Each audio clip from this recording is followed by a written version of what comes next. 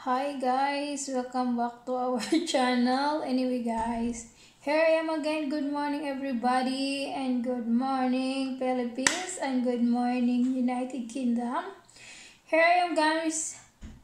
So, napapansin nyo, kapapalit ko lang ang damit kasi naligo tayo for today. So, hindi tayo nakapag-vlog earlier. It's quiet late. Napag-vlog natin. Time check is... Sarap na 9... 9... 9.55 here in the morning. So, hello Philippo. Hi to the people of my subscriber. Good morning guys.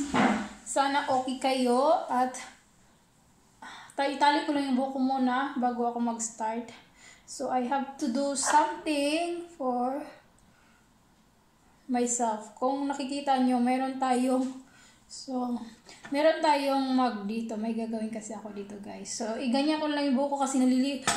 Tapos ko lang talaga maligo at nag-blow dry ng buhok ko, guys. And then, meron talagang hindi ko maiwasan. Meron talaga akong mga buhok-buhok na maliliit nga. Kasi yung mga buhok ko kasi pag tapos ko maligo talaga at mag-blow dry, nangalagas yung buhok ko. So, hindi mo maiwasan yun. Normal na yun sa ating mga kababayan. Kasi mahaba ang buhok ko guys. As in very, very long. So, ang bango ng buhok. Ang bango, kong, ang bango ng buhok ko ngayon. So, I reveal next time kung anong gamit nating shampoo. So, maybe next time guys kasi hindi tayo nakapag-vlog kanina. But anyway, good morning everybody again like I said, good morning people and good morning all of you guys to my subscriber. Hi guys, everybody. And today, kung bago ka lang sa channel ko, please like and comment below kung gusto mo. And then subscribe na rin kung nagustuhan mo tong video na to. So, para makatulong din ako sa ibang tao at siya makatulong din ako sa inyo uh, to advise something kung ano ba talaga ang buhay ko dito. Usually guys, wala po tayo. Wala po akong trabaho at bilang housewife, so I'm doing vlogging so that I can you know, alam nyo na, pag-vlog, so kung anong buhay namin dito bilang OFW na ninirahan sa ibang bansa. So, I want to keep your mind open para maintindihan nyo kami at maintindihan nyo anong buhay dito sa United Kingdom. So, today the weather guys is little bit windy but it's dry. Luckily, hindi na umulan. And then, today is Wednesday, I think. Yeah, Wednesday kasi windy today. So, kinuha natin yung baso. Pinasok ko na yung basura namin kasi uh, dumating na yung nagko-collect ng garbage. So, katatapos ko lang noon. Nagpapaghugas na rin akong kamay. And then now I feel hungry guys. So now I have do something that I need to be kakain tayo guys. Ayokong kumain ng kanin but today I have fruits beside me. So what guess guys? I eat avocado so that mayroon tayong vitamins. Vitamins kasi maganda to sa katawan guys na kakainin natin. Hindi po ako nang kumakain talaga ng minsan kasi talaga gusto ko ng kanin, minsan naman prutas. So hindi po madalas kanin. So usually, kumakain ako ng kanins one a day. As long makakain lang ako ng kanin guys isang araw, pwede na yun sa akin.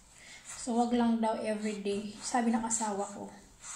So sabi ko nga eh, wala kang choice kasi Pilipina ako. We love rice guys, right? So, sabi ko nga kahapon kumain ako ng kanin sa harapan niya. Sabi, sabi niya, hindi ba ako nagsawa ng kanin? Sabi ko, hindi. so anyway guys, buti na lang, ano to kasi pasira na to. Medyo 3 days na to eh, since na dinili ko. So kailangan natin gamitin kasi masisira siya at masasayang lang. So, sa gagawin natin, kainin natin siya, no? At lagyan ko lang naman siya, guys, ng milk at saka sugar. Very simple lang, guys. Meron ako ditong, tag dito, meron akong ninja blender, but hindi ko siya ginagamit pag summer lang. Hindi naman amin ngayon eh. So, medyo malamig ang panahon kaya naka-jacket po tayo.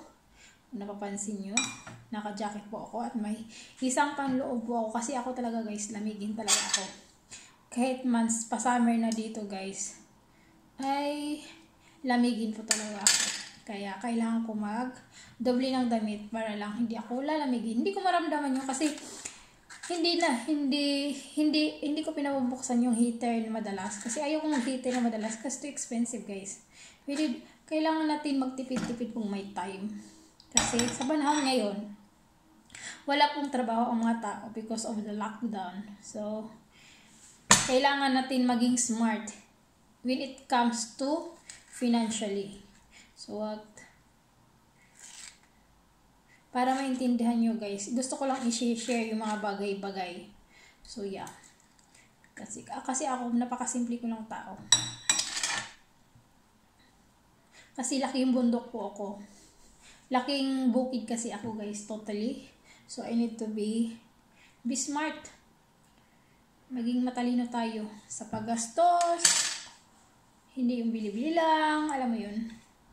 Kasi, when it comes material things, it's okay. No problem with that. But for me kasi, di ba naman madadala yan sa kamatayan? Ay, kasi kasi yung tumulong ka sa ibang tao. Yung financially ha. To, mas maganda yung tumulong ka sa pamilya mo. Alam mo yun, magbigay ka ng konting tulong na kaya mo lang. Ganun. So, yeah. Yung kaya mo lang naman wag mo naman ibuhos lahat. So, kailangan ka rin magtiras para sa sarili mo. So, yeah. Ito ay pangalawa. So, bubuksan natin to. So, kasi dati, ginagawa ko, nasusugatan ako dito dati kasi ginagawa ko, pakita ko sa inyo ha. Ginaganon ko kasi, eh, dito, ginaganyan ko dati yung ano, buto, inasugatan ako, dumiretso doon sa kamay ko. So, hindi ko na ginagawa eh, guys ginagawa ko, quiz it na lang para mabis mabilis matanggal ang buto. I-quiz mo para matanggal yung buto. Kasi malambot naman siya eh. So, yeah. So, kung mayroon lang akong lupang malaki, gusto ko to ikikip eh. Sa province maganda yun, sa bukid-bukid. Magtanim ka, magtanim tayo guys. Masarap mabuhay sa bukid. Alam niyo ba yun? Kasi laki akong bukid. Kasi, in my father side, malaki ang kalupaan nila. But, sa side lang ng ano yun, father ko. But, yan. Tingnan mo guys, sira na siya. Oh, bayuit na siya. Ano ba yan? So, tanggalin ko lang yung mga bayuit, bayuit. Yung dark, yung ibang kulay niya kasi ayaw ko naman nun. Ayaw ko na niyan. Kasi, pangit na kasi kainin yan guys. So, tanggal yun ang gagamitin natin yung medyo okay pa yung side na to. So yeah, hindi ko alam kung nalabas kami guys today. So, gusto ko magluto ng pansit pero maybe mamayang hapon na yun guys. So, different yun kasi it different. So, yeah. So, tanggalin lang yun natin ang mga tanggalin natin lang yung mga ano okay pa yung medyo kaya pa. So it's not really good na dawan so we need to throw it away this one to the plastic bin. So meron kasi akong plastic dito nga. Yung nabubulok lang talaga na lagayan. So yeah so wala pa akong nilagay sa mukha ko ngayon kasi plano ko mag ano, fill of mask ako today. So, mamaya-maya ko na yung gagawin. Kakain na ako kasi gutom na ako, guys. Siyempre, linisin natin yung kalat natin. And then, now guys, I add sugar. I add sugar for this. Mga, ano lang. Yung tama lang guys, wag naman marami. Wag naman yung magkaroon ka ng super sweet. Ayoko na masyadong matamis. Yung gusto ko lang tamang-tamang tamis. So, sugar lang gagamitin ko kasi wala dito ang kondensada. Okay. Kung nasa Pilipinas ako, makakabili ako ng condense kasi mas okay. Ang condense, condense ang gagamitin ko. But by the way, I'm, mahal kasi ang condense pag bibili ka sa online. So, gagamit lang ako ng fresh milk. Yun, and then sugar.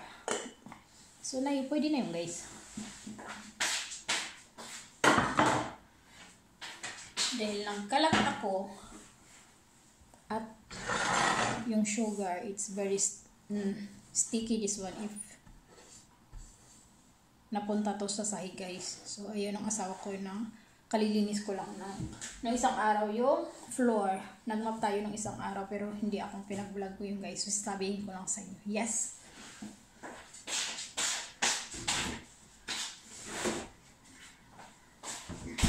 Need use fresh milk. So, ito yung fresh milk na binibili ko. Ay, binibili ko. Binibili ng asawa ko kasi wala yung tag dito natanggal sa tinapong ko na kanina. So, ito yung British milk na fresh milk. Na skimmy milk. Yun ang, yun ang milk ng asawa ko. Kasi yun ang gusto niya eh. So, ay! We add. That's it guys.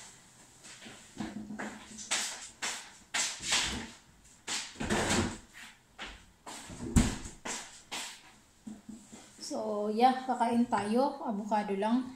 Avocado lang muna ako ngayon kasi medyo nararamdaman ko na yung gutom ko eh. Kasi kanina guys, anyway, nagkapi lang tayo ulit at saka nagtinapay. So, yun naman katalagang kaugaliin natin mga Pilipino. Nung na, pag breakfast lang, minsan, coffee lang, buhay na tayo dyan, and then, alam mo yun, coffee-coffee lang pag may time. So, pag 10 o'clock, around 10 o'clock, pag hindi ako kumakain talaga ng kanin, usually, ginugutom ako. Nagugutom ako niyan, guys. So, kailangan natin kumain. So, ang ginagawa ko dito, dinodorog ko lang to guys. Ng pinong-pino. Para makain natin siya. Tapos, mix, i-mix mo lang mabuti para yung tamis ng sugar mag-combine. Kain tayo ng avocado.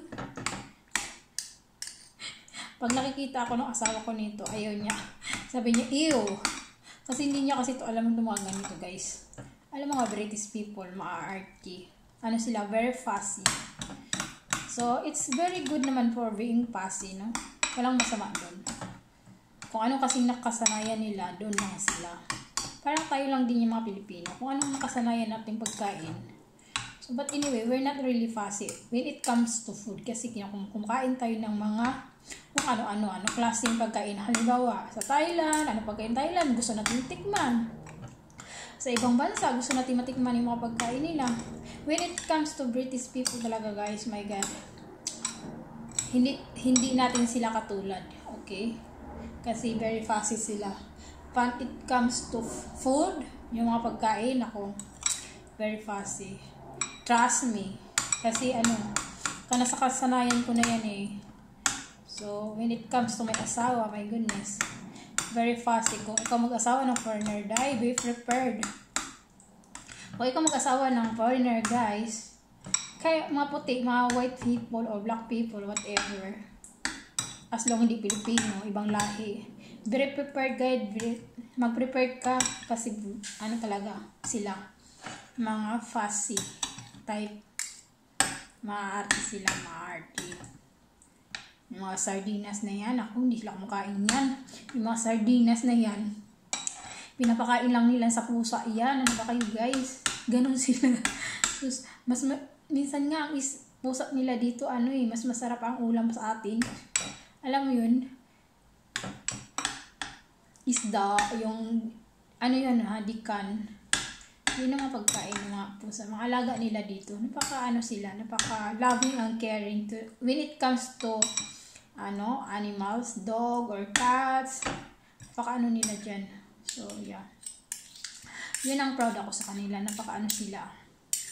Kasi afford naman kasi nila yung mayaman. Hindi sila mayaman usually. May pera lang sila. Kasi when it comes to ano, cost of living, afford nila kasi the salary is much better than the Philippines. Kasi oras ang binabayaran sa atin. So, dito kasi, ay, araw ang binabayaran sa atin sa Pilipinas. But here is different story because ang binabayaran nila dito is oras. So, afford nila yun. So, but this time, time of lockdown, it's different story guys. Because most the time, most people are not working. But some people are working their home. Kumbaga sa opisina sila nagtrabaho unlike computer, yung computer yun, pwede silang, pwede silang magtrabaho in, in the house lang kasi computer lang ang ginagamit nila. But some people don't, but some people, yes, we're still working. It, it depends on the company, guys. That I just wanna explain it to you guys, okay? So, hope the Filipino, hope the Filipino would understand because it's different country, different rules, different, you know, iba-iba ang batas ng Pilip, iba-iba ang batas ng bawat lug- bansa, okay guys? So that you can understand you guys what I'm what I'm saying. So yun yung sinasabi ko. So hindi natin pwede ikumpara. Uh, yeah, you can compare but you can compare but you should understand what what I'm saying. So, katulad sa Pilipinas, iba yung batas sa atin sa Pilipinas. So, iba yung batas dito. So, yun ang pagkaibahan. Minsan, we are confusing in different ways. Kasi, hindi nga pari-pareho ang batas. But, we need to understand. They are different country. So, different rules and different policy. So, that's that's my point. So, kakain ako guys kasi gutom ko lang to. Kung ano yung pinagsasabi ko. Okay guys? By the way, uh-huh, ano yun? By the way guys, some, someone asking me, someone asking me in my past vlog na, kung paano daw kami nagkakilala ng asawa ko. So ngayon, I will tell you story, something, small story lang guys, in short. So, ba, ba, uh, habang kumakain ako para something I share with you guys. So, hope you understand me. And, by the way, the first I met my husband is past June, June, June 11, I remember that, June 11, 2013.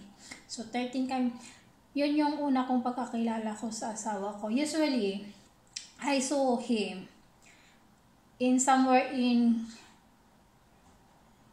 in uh, we see him each other in somewhere in Clark yes and then cause we had a friend I think a friend recommend him to visit in the Philippines okay meron siyang kaibigan nga nag-recommend sa kanya pumunta siya ng Pilipinas but the advice for him to go to Clark so doon po ako nagtatrabaho sa Clark before So, we meet in Clark. So, yun po yung sinasabi ko sa Clark.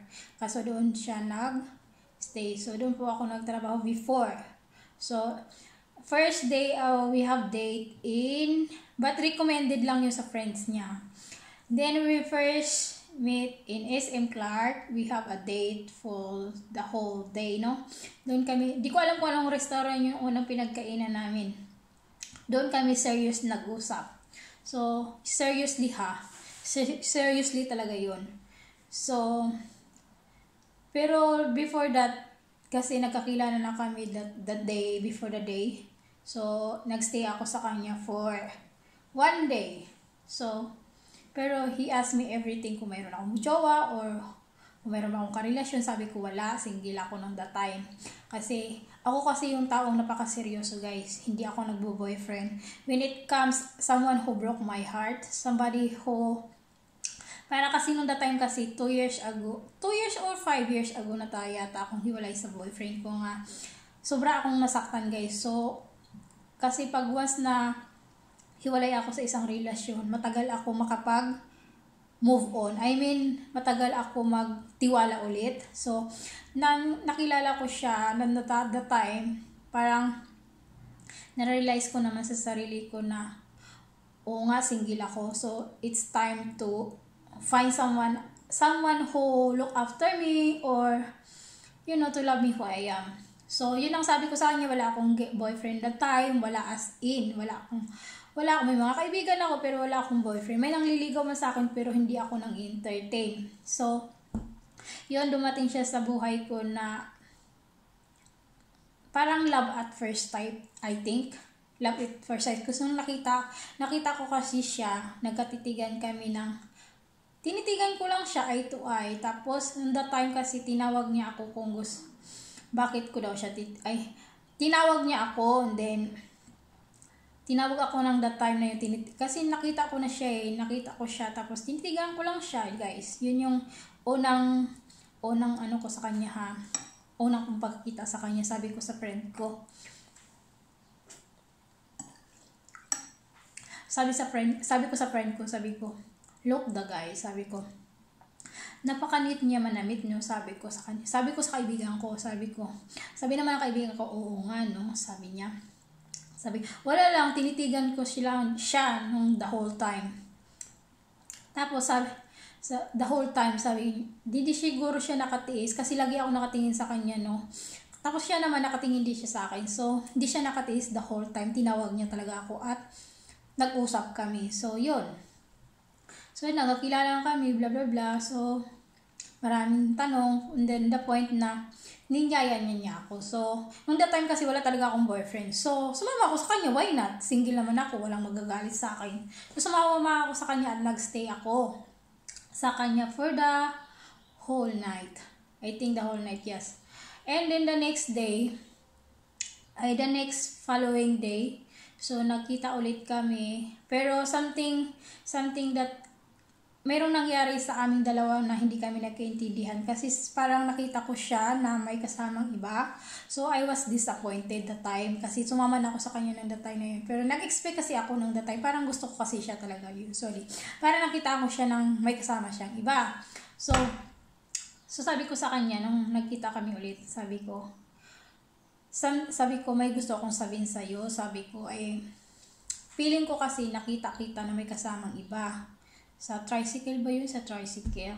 Sabi, sabi niya, hindi daw siya yun. So, parang wala na ako. Pero meron akong nararamdaman nga guys, meron talaga siyang kasama. Kasi as in, nung nakita, nakita ko siya to the next day, pari-pariho pareho kasi yung damit, ay yung kay nag, pareha yung damit niya, tsaka yung short niya, tsaka bold din. So, sabi ko kasi, parang ikaw yun eh, sana wag mo i-deny. So, so sabi niya sa akin, sabi, sabi niya sa akin, pumunta ka sa sa hotel ko, doon tayo mag-usap. So, pumunta ako sa hotel. Totally dalawang isip pa yun nung pagpunta ko sa hotel niya. Somewhere in, somewhere in Clark, guys. Hindi ko na sabihin kung anong hotel na yun. Basta hindi ko na lang sabihin.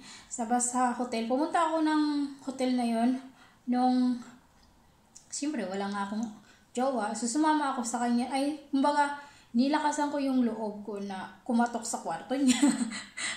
Kung, sabi ko, sabi ko, um, kasi may something ako sa puso kong nararamdaman eh. May, may gusto kong ilabas at saka gusto kong pag-usapan namin. Sabi ko ngayon, hindi ko siya boyfriend. Parang may, mayroon akong something na, basta alam niyo na yung guys ang ibig mong sabihin. So sabi niya sa akin, sabi niya sa akin, hindi ko gusto yung sabi niya, mag-usap tayo, pumunta ka sa hotel. Sabi ko, sabi niya, di nagpunta ako guys ng, ng hotel niya pagkatapos ng trabaho ko. So, pupunta ko dun sa hotel niya, nag-usap nga kami. Sabi ko, sinabi ko na lahat-lahat, lahat-lahat yung gusto kong sabihin. Sabi ko, kasi parang nakita-kita na may kasama kang iba, kaya the way I I approach you, it's different. Parang disappointed kasi ako sa, sa nararamdaman ko. Parang nakita-kita may kasama. So, ako kasi ayaw ko talaga yung lalaking butterfly. So, yun ang sinabi ko sa kanya direct. Sabi ko, Clarks, sabi ko, ang Clark, maraming babae. Sabi ko, alam ko, sabi ko, alam ko yung sitwasyon, sabi ko, sabi ko, sabi ko, wala namang problema sa akin, mag, may, may babae ka o may nagustuhan ka, sabihin mo lang sa akin para hindi ako umasa, sabi ko ganyan sa kanya. Sabi ko, kasi the time na I saw you, I feel something different on you, sabi ko sa kanya. So, yun yung sabi ko sa kanya, sabi niya, nagseryoso na kami nag-usap guys, sabi niya, okay, ito yung gusto ko, sabi ko, with, kasi nung the time na yun, nagbakasyon siya sa isang, sa Philippines guys, first time lang niya pala, doon sa lugar na yon So, first time lang siya, first time hindi pa niya alam yung nangyayari doon. So, first time, first time, kumbaga first time niya akong girl sa Pilipinas nga, sa lugar na yon but, but in the past, meron pala siyang girlfriend.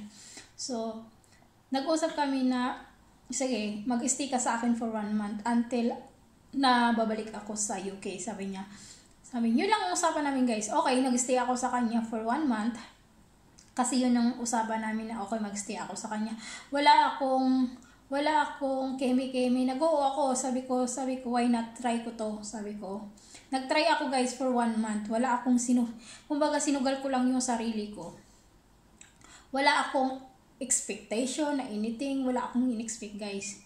And then, hindi kami mag-shota guys. Hindi rin kami mag... Wala kami usapan mag-shota kami guys, okay?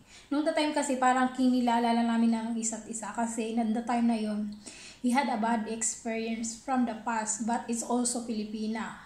Sa ang mayroon siyang dalawang girlfriend o tatlo mga Pilipina din fra, from the past from Mindanao and Cebu and Bohol. So yun yung guys mga lugar na yun napuntahan niya na hindi ko alam. But may, sinabi niya sa akin na may experience siya. So, tinatry lang namin dalawa kung pwede daw ako niya pagkatiwalaan. So, nag-stay ako for one month for him until bumalik siya sa ibang bansa. But, nung bumalik na siya sa ibang bansa, guys, but still communicating in each other sa internet. Sa internet, sa internet kami for 6 months, tapos bumalik uli siya sa Pilipinas. But anyway, mag-on kami usually sa ano na, sa internet. Kasi tinanong niya ako na ano ba talaga ang gusto ko sa buhay. Sabi ko niya, sabi niya, ay sabi ko sa kanya nang the time na yun guys, ano ko daw gusto sa buhay, ano ba, ano ano ba daw ako sa kanya. Sabi ko, ano ka, sabi ko naman, sabi ko, parang pagod na ako masaktan, sabi ko ganyan. Kasi ilang beses na rin ako nasaktan sa, usually isang ex lang naman nakano, isang ex lang naman nakapanakit sa akin guys. So yun yung naka, virgin sa akin. Yeah, FYI lang. So, yun yung nag-break sa akin ng sobra sa heart ko. So, sabi ko sa kanya, ayoko nang ulit masaktan. So, so kung mayroon kang babaeng nagustuhan, okay lang sa akin. Sabi ko, walang problema sa akin. Sa akin lang, gusto ko lang yung seri- serious relationship na mamahalin ako kung sino ako at mamahalin din yung pamilya ko. To the point, they support me all the way. Sabi ko ganyan. So, yun lang ang gusto ko, yung mamahalin ako kung sino ako. So, tanggap ako ang buong pagkatao ko. Sabi niya, ah, okay. Sabi niya, okay, kung gusto mo, sabi ko, from now on, I'm your boyfriend. O di din at sabi ko, ha? Sabi ko, sigurado ka? So, yun ang sabi ko sa asawa ko na ano, nung, nung after 6 months guys, bumalik siya sa Pilipinas for, after 6 months nung bumalik ulit siya sa Yoko, bumalik siya sa Pilipinas guys. Da, doon nag-start yung relasyon talaga namin ng pagbalik na second time after 6 months, kasi bumalik siya sa UK, isang buwan lang yon so nagstay ako sa kanya. So, sa isang buwan, at least nakilala na niya ako. But more than that, ng 6 months na yon inis, nag-stay na ako for 4 months. Nagstay na siya for 4 months in the Philippines. So, kumuha ako ng apartment, nag-rent kami ng apartment in somewhere in Clark. And then, 4 months na yung nagstay sa may, saan ba kami ng unang apartment? Basta sa, sa kaibigan ko na apartment yung guys. And then, na 4 months kami nagstay together. And then, doon kami nalubos nagkakila sa, sa isa't isa na, na alam mo yon hindi ko siya pinipigilan kung saan siya magpunta. Tapos ako nasa kwarto lang. Kasi nang the time na yon hindi na, I quit my job. Hindi na ako nagtatrabaho. So, nagstay na lang ako sa kanya to, alam mo yun, masikaso ko siya, mas ma, mas masbaybayan ko siya. I mean, malagaan ko siya. So, yung 4 months na yon doon niya ako lubos nakilala na, oh, doon niya na-realize sa, sa sarili niya na, oh, itong babae na to, iba pala siya sa nakilala kong Pilipina. So, doon yung nag-start yung relasyon talaga namin deeply. So, for 4 months. And then after that, sa pag 4 months na yan, bumalik siya sa Pilip. Kasi nagsama na kami sa isang apartment, guys. Nagsama na kami. So, as in a couple, okay? Uh, mag-boyfriend and girlfriend. Tapos, bumalik, pagka after ng 4 months, umuwi siya ng Pilipinas, ay bumalik siya sa UK, sorry to say. Bumalik siya sa UK. Tapos tuloy-tuloy pa rin namin ang communication sa isa guys, yung internet most the time kasi kailangan talaga yung communication. Importante yun sa mag-asawa, mag-boyfriend. Communication tapos madala siya sa akin guys tumatawag on check. By minute, mga halos minuto na nakacheck niya sa akin. Alam mo yun, kasi siguro, I understand him because meron siyang past before na pinagdaanan niya, nag-heartbreak din siya na nawala na siya ng tiwala. So, ako naman, siyempre, naintindihan ko yun siya. So, lagi siyang naka-check sa akin. And then, the next year, bumalik ulit siya by 6 months. Kasi sa isang base, sa isang basis, guys, sa isang, uh, isang basis, sa isang taon, bumabalik siya sa Pilipinas two times. So, every six months, bumabalik siya sa Pilipinas. So, bumalik ulit siya ng Pilipinas. The second, the third time, So, nagstay na naman kami, nagstay na naman kami together sa, saan ba siya nung si third time? Sa Manila yata kami noon. Nag-hotel lang kami for few days sa hotel sa Manila and then, I go back to Clark to rent some apartment na rin. For 6 months naman guys, this time 6 months. So, doon na naman kami nagstay sa somewhere different apartment namin. Palipat-lipat kasi kami ng apartment sa Clark guys kasi naghahanap kami. Kasi yung asawa ko masilan, ayaw niya ng maingay. So naghanap ako ng apartment na alam mo yun, comfortable siya doon matulog, tumira ng for 6 months yung walang ingay. Kasi ano nga sila, sanay sila sa tahimik na lugar guys. Like this country, ang quiet talaga ng mga tao. Kaya kaya naintindihan ko siya. Ngayon ko siya naintindihan ng lubusan kung bakit siya ganun. So, masilan kasi talaga siyang tao. So, nagstay kami for 6 months somewhere in, ano nakalimutan ko yung mga hotel guys na anong pangalan. So, usually, nagkukulit ako ng mga resibo ng, ng mga, mga resibo-resibo ng hotel pero nang natapos na, eh, wag ko na sasabihin yung guys na mag, baka maguguluhan lang kayo. So, nagstay kami for 6 months together again for the third time. So, nagsama kami sa isang apartment nga. Binabayaran namin 23,000 every month. So, doon kami stay kasi it's very quiet. And then, comfortable siya kasi may aircon and everything. So, hindi ko na kasi kailangan. For the third time, nagsama ko ulit kami guys. And the third time, the, doon talaga niya ako lubos na binigyan ng tiwala. Kasi for the six months ba naman guys, matagal yun.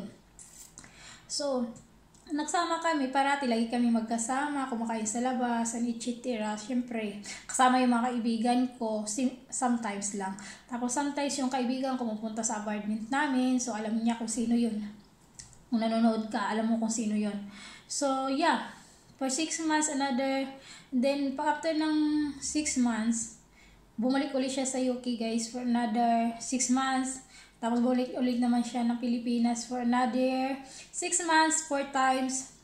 So, for the fourth time guys, doon na, doon na nag, na-realize niya parang ayaw niya bumalik sa Pilipinas kasi napagod na magbiyahe kasi may, ma, may edad na rin naman kasi yung asawa ko mga the time sorry the time kasi nakilala ko siya is was 57 ako naman 27 nung that time na yun Siguro nung pabalik-balik niya ng four times, so how many times? Sabi niya, sabi niya sa akin, na-realize niya siguro sa sarili na it, I think ito na yung babae na gusto kong makasama hanggang buhay. Or, kasi nang the time ngayon, marami siyang pinagdadaanan sa past relationship guys. Sinabi naman niya sa akin lahat yon And then yung ex niya, nakita niya siguro, by the way guys, I tell you behind the story. Yung ex niya siguro, nakita kami sa Facebook, na Facebook nag-chat sa akin personally ha. Hindi niya ako kilala, hindi ko rin siya kilala. Tapos yung ex niya may sinasabi sa tungkol sa boyfriend ko na bla bla bla. Uh, hindi daw sila hiwalay. And then sinisiraan niya yung asawa ko ngayon na kuripot na, bla bla bla bla, something like that. Then meron daw silang anak na isa, hindi daw sinusuportahan ng asawa ko. Sabi ko naman, who's this girl? Sabi ko, bakit siya sinasabi niyang mga ganito ganyang bagay? Sabi ko, pero yung the story guys, behind that, alam ko na, bago man, bago man siya manira ng tao, alam ko na kung kwento na sa akin. So, nagtiwala man ako sa asawa ko. So, sabi ko, girl, kung wala ka rin magandang sabihin sa ex mo, sabi ko, manahimik na lang. So, I think, sabi ko, I think you are jealous because he, he finds someone else than better than you. Sabi ko, yun ang sabi ko sa kanya. Sabi ko, kung ano may, kung ano may nakaraan nyo sa inyo lang yun. So, wala akong kasali doon. Sabi ko, wala naman akong pakialam sa sinasabi mo sa ex mo. Sabi ko, wala akong pakialam kung ano yung sasabihin mo. Kasi alam ko ang mga Pilipinang ugali, ibang Pilipino, mahilig manira para lang makapanira ng relasyon. So, sina- nireplyan ko ng, nireplyan ko yung girl. Nireplyan ko talaga guys. Privately message yun, message yun ha sa Gmail ko Nireplyan ko, tapos sinabi ko sa asawa ko after that, sabi niya, i-block mo. So, di binlock ko yung girl, kasi parang hindi niya ako magulo. Ayoko magulo yung utak ko nung that time na yun. So, binala ko yung girl para hindi kami magulo ang dalawa. So, sabi, sinabi naman lahat ng asawa ko, sinabi ng asawa ko bago kami magkakilala, okay, nung nag-start pa lang relasyon namin nga, meron siya pinagdadaanan sa buhay nung that time na Kasi yung girl na yun pala, mukha siyang pera, guys. Every week, siya nang, every week, siya nang hihingi ng pera sa asawa ko. Nung sila pa. So, So, naintindihan ko yung tao. Sabi ko, dapat hindi naman ganon. Take advantage na yun eh. Kahit may relasyon man kayo or hindi, may relasyon man kayo or whatever, wala kang karapatan yung, alam mo yun, wala kang pakialam sa tao. Kasi lagi daw siyang iniiwanan ng ex-girlfriend niya before, para bang walang pakialam sa kanya. So, na-realize niya, kailangan niya hiwalayan yung babae na yun kasi parang ang babae na yun ay gusto lang sa kanya ay pera. So, yun, kasi nang the time na yun pala, pumunta, parang ayaw niya pumalik sa Pilipinas usually the time na yun. Kasi broken hearted na pala siya. So, so how many times? Three, three times. Kasi kaibigan lang talaga niya ang nag-recommend din siya pumunta sa Clark. So, yeah. Yun yun ang guys. So, yung babae na kasi na yun, ma mapera, mukha siyang pera guys every week nang hihingi ng pera. Pag bibigyan mo siyang maliit na pera, nagagalit pala siya. So, yun yung sabi ng asawa ko. Sabi ko, he's not really good type kind of person. Hindi siya magandang, para sa akin ha. For me ha, I don't want to judge the girl, but for me, take advantage kasi yung hingi ka ng hingi. Alam mo yun, hindi mo naman pinaghihirapan yung pera na yun eh. Para sa akin ha. So me, please don't judge me. I'm just I'm just, I'm just put the lines. Minsan kasi maging, alam natin kung saan hanggang lang tayo, kahit asawa nga tayo eh, minsan, di ba, guys? So, on my point of view, sabi ko, ah, ngayon ko naintindihan yung asawa ko, bakit ganun siya. Kasi, yung mga ganyan kasing tao, hindi talaga dapat para karapat dapat palagahan. So, hindi, hiniwalayan niya yung girl, guys. Kasi nga, before kami nagkakilala, hiniwalayan niya bago daw siya bumalik ng Pilipinas, 2 years yun. Tapos, yun, pag after ng 2 years, nagkakilala kami. So, yun, ako na yung babaeng huli sa buhay niya na, as in, ako lang dinala, ako lang yung binigyan ng, uh, swerte ko kasi binigay niya ulit sa akin yung tiwala nga nawala sa kanya. So, yun yung point ko, guys. Kasi sa dami-daming tao sa mundo, ako pa, sabi ko, sino ba ako, sabi ko. So, ako lang kasi, binigay ko lang yung totally kung sino ako. Binigay ko lang yung puso ko sa kanya. Binigay, kumbaga gusto ko lang makuha yung tiwala niya. So, yun, binigay ko yung tiwala niya, kaya dinala niya ako dito. After so many times na bumalik-balik siya ng Philippines, four times, five times, nangging kami na, na plano na talaga niya akong kunin pala wala akong in-expect na kahit anong bagay guys para sa asawa ko. Hindi ako nag-expect na ka, sabi ko nga mahalin ko lang siya, talaganin ko lang siya at alam mo yung tiwala, gusto ko lang ibalik sa kanya. So, yun yung point na na-realize na na ito na yun. Ako na yung babae na gusto niya makasama. So, yun yung point na yun. Four times, five times siya mabalik-balik sa Pilipinas. He decided to plan bring me back to the UK. So, yun, nag-process ako guys ng mga papers para maasikaso po ko para pag susunod na pagbalik na kasi nag stay nga siya ng for 6 months every time. Twice in the Philippines yung pabalik-balik siya sa isang taon pabalik-balik siya ng two times kasi wala siyang trabaho guys. Ano pala siya retired early. Nag-retire siya early at age kasi mayroon siyang sakit sa puso guys. Operation ha uh, angina operation. So, mayroon siyang nararamdaman. So, yun yung di, kinuha niya ako guys. Nag-process ako ng papers all the all the time. Pero, uh, ako lang nag-ayos ng papers namin guys. Kaming dalawa by the way. Sabi ko sa kanya, okay, ganito yung gagawin mo. So, and then you send me to the... Kasi the time na nag-ayos kami ng papers, guys, nandito siya sa UK, na the time ako sa Pilipinas. So, he support me naman anyway financially the time nung hindi ako nagtatrabaho kasi pero by the way meron akong business meron kaming business mag-ina sa sa Pilipinas tindahan so sinabi ko yun sa kanya sa sa may kubay by the way guys my mother they have a business two stores in Cubao Manila Uh, dati yung guys, meron kaming business na karinderya pero I decided to sell it the one. So yun ang the time nung kami pa. So nagtatrabaho na lang ako sa nanay ko nung kami habang kami nag-ayos ako ng papers.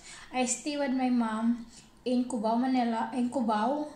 So nagstay ako sa Manila, and then tumutulong ako sa nanay ko magtitinda-tinda every day. So doon at least may time ako makipag-usap sa jowa ko eh, sa jowa ko every time. So, he check me all the time, the time, the same thing, communication pa rin guys, yun ang importante. So, nung the point na natapos na yung, kasi nag-decide kasi ako, ako lang mag-ayos, kasi sabi ko sa sawa ko, kung kukuha tayong agency, mas more cost of a lot of money. So, I decided on my own way. So, I research in the computer everything, guys. Magbabasa-basa po tayo sa mga internet. Hindi po natin kailangan mag-agency para lang mapapadali. Yun. Mali po kayo. Kung gusto nyo makamura, at napabilis ay kung kaya nyo naman gawin gawin nyo guys. Internet lang search mo kung anong kailangan mong requirements sa embassy kaya mo guys. Kung kaya ko kaya mo rin guys. So yun yung point ko na sabi ko sa asawa ko eh sabi ko sa asawa ko mag-send ka lang ng ang tawag dito nag nag-send siya sa akin ng ano sa sa address ko ha sa Manila.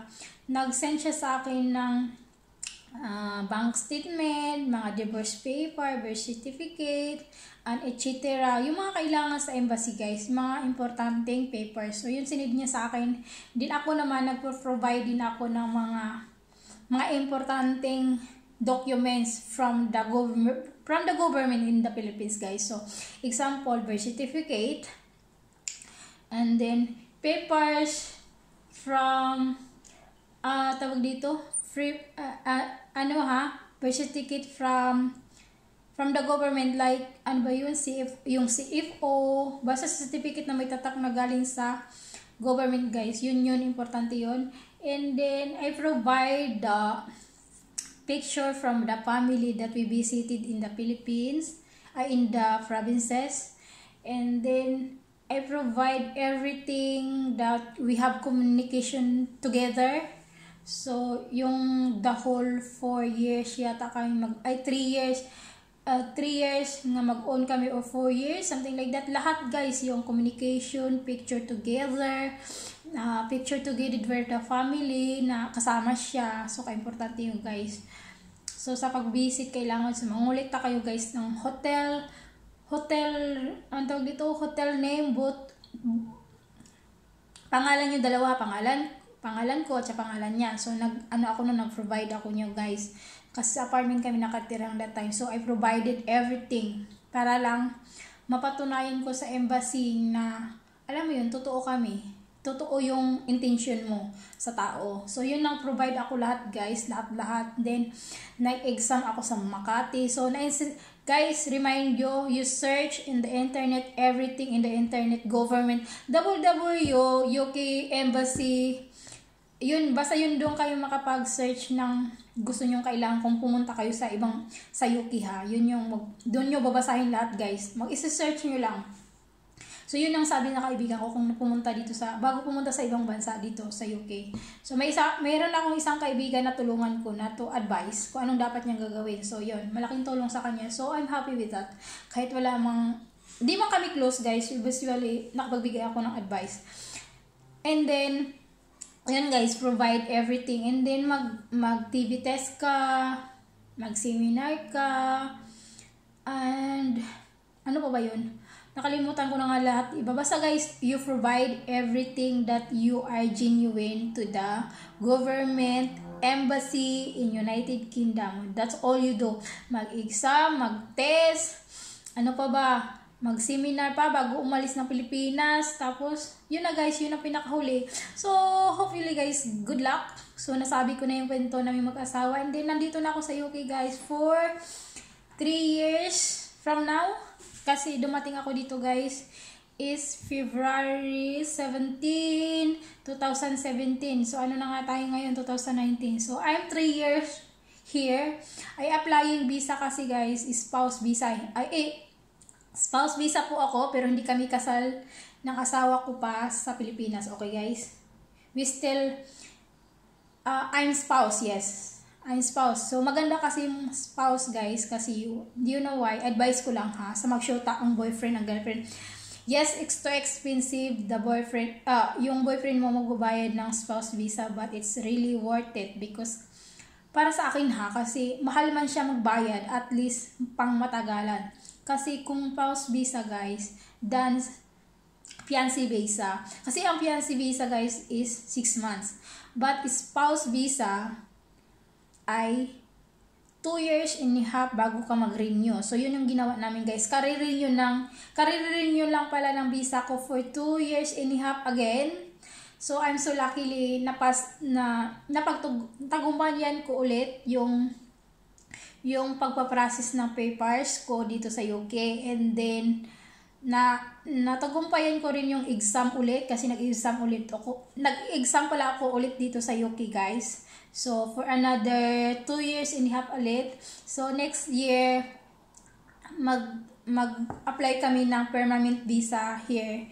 For permanent visa ha sa UK yun ang for 5 years. So yun na yung guys. 5 years. Yun ang applyan namin for the next next next years income for 5 years. So hopefully guys. So good luck na lang to me. So I will do studying again for that. So that's it guys. The yun ang story ko.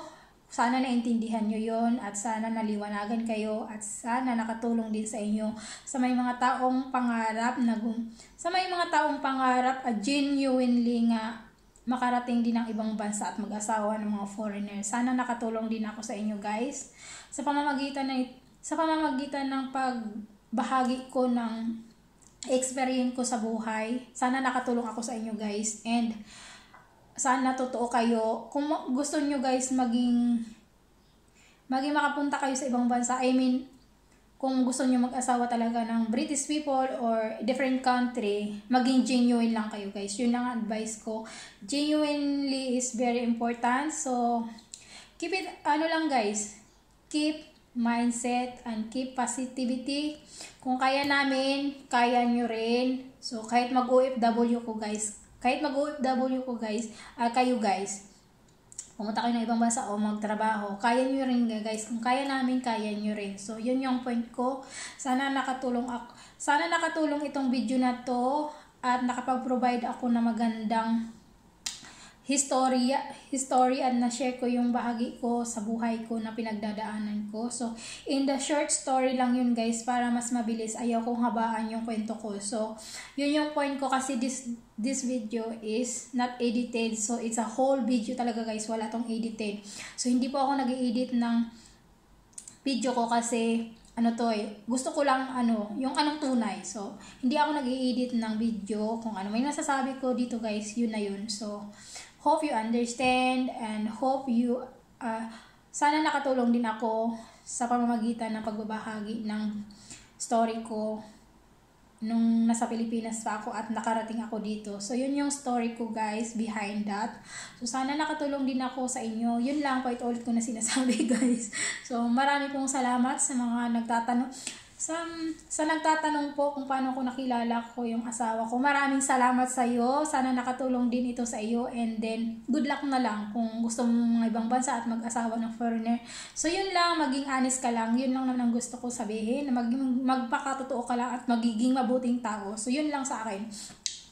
And then sa mga subscriber ko, marami pong salamat sa pag-support nyo sa channel ko. And please like and comment below kung gusto nyo. So more video gagawin natin. So, ini guys, sa kadaldalan ko sa inyo, ipagpatuloy ko na yung kinakain ko kasi I interrupt my kasi nagkwento na ako sa inyo. So, tinigil ko lang pinakain ko. So, anyway, I finish this and then I will end my vlog. That's it, guys.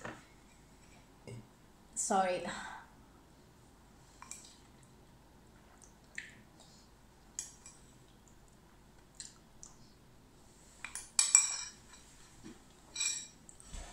Kasi baka magtataka yung asawa ko ang takal-takal ko dito. So, wag natin tagalaan yung pag-vlog ko. So, guys, my telling story, that's it. And then, let, later tonight, different na yung vlog natin because it's about cooking, that one. So, separate yung vlog na to. So, yeah. Hope you understand. Okay, that's it.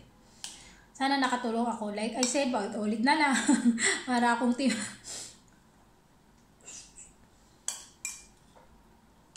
so, mag-provide lang kayo ng mga financially, papers, and everything. Kasi meron kasi tayong mababasa sa computer na kung anong kailangan mong gawin. So, yun lang sundin mo lang guys. Papasa at papasa kayo. Kung kaya ko, kaya nyo rin. So, good luck to everyone. Yun lang masasabi ko guys. At, syempre guys, magdasal po kayo kung ano yung gusto nyo mangyari sa buhay. keep praying. Everything is God give your wish. So, ibibigay ni Lord yun kung anong pangarap mo sa buhay. Basta maging mabuting kang tao at magtotoo ka lang. So, yun lang. So, yun lang. Good luck guys. Sana nakatulong ang sa ulit yung video na to. So, kakain lang ako at tapusin na natin to.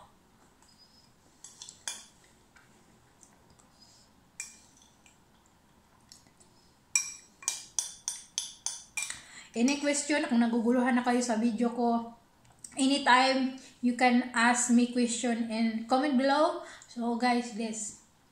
Willing po akong tumulong but willing po akong tumulong in advice, not financially guys kasi wala ako nun. So, pasensya. pasensya po. Pero if you willing to advise, willing advice, advice, advice, kailangan nyo ng advice, nandito lang ako. So, pwede nyo ako hingyan ng advice, kahit ano guys ba makatulong ako sa inyo. That's why I'm doing for vlogging for my for vlogging myself to share my story, my experience and everything. So yes, amen ako dyan. So guys, yes. Mm.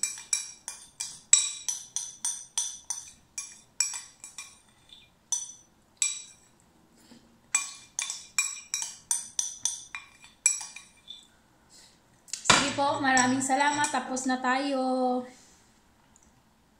Marami pong salamat sa panonood nyo at sa pakikinig sa araw na ito. At sana, mm, sana sa susunod po na video ay suportahan nyo pa rin ako. And, gusto ko lang po sa salamat sa lahat na nag-subscribe sa channel ko na kahit bago pa lang tayo guys. Maraming maraming maraming maraming salamat po sa viewers ko sa Pilipinas. Of course, guys, sana one day makilala mo kayo personally para magpasalamat ako sa sa inyo. So yes guys, tapos na tayo. I end this vlog and I will see you next time and I will see you soon. So please subscribe my channel kung bago ka lang sa channel ko ulit and then comment below if you want. So that's it guys. Thank you very much for this. I love you all. Thank you guys and God bless you everyone and take good care and look after yourself. Think positivity and be happy who you are and then just pray to God glory that in life impossible. So yan, pagdasal po tayo parati sa kung ano mang nangyari sa mundo ngayon, kailangan po natin ng positive na pag-iisip at huwag tayo magpapapekto sa nangyayari sa mundo. So, lahat po tayo may pinagdadaanan na crisis sa mundo. So, yun lang po naman, yun lang po guys at maraming salamat. Keep positivity and keep mindset at at magiging be happy guys. So, masaging masaya at sumunod tayo sa batas kung ano man yung patakaran na policy ng bansa natin. So, yun lang naman guys. And maraming salamat. Goodbye! maraming salamat guys. God bless you all.